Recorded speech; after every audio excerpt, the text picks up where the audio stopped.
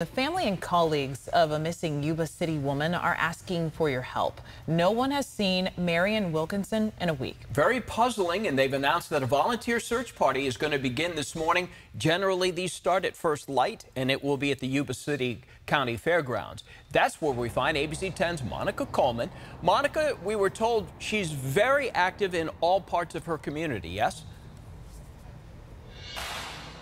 Yeah, she's very active in the community and loves to give back to others. And what's weird about this story is that families say that she was supposed to show up to a dinner but never came. And so now they're putting boots to the ground to find her. It's been over a week since she went missing. This mother, take a look at the picture here. If you have seen her, the family wants to hear from you. And Wilkinson worked with the homeless at the Life Building Center in Marysville and at the Casa de Esperanza's women's shelter. Her loved ones have organized a search party for 8.30 this morning, meeting here at the Yuba Sutter County Fairgrounds main parking lot.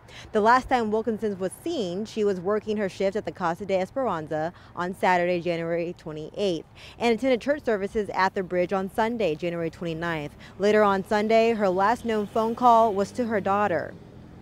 She said that she was coming over to our house um, for dinner, and that was the last time her daughter talked to her. Marian, you know, she's, she's always been a very responsible uh, person and she loves her jobs.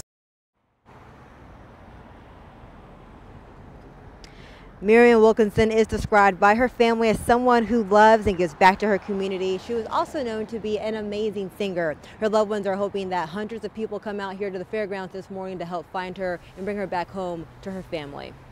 Monica, you and I had talked, and I had asked you this question uh, whether her work with the homeless has anything police suspect that that may have something to do with her disappearance. And what did you, what were you feeling about that?